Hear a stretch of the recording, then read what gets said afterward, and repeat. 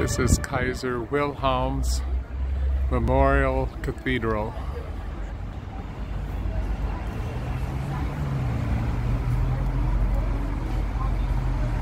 This is what the building looks like after being bombed. This is what was left from the bombing in Germany. Back at the end of World War II.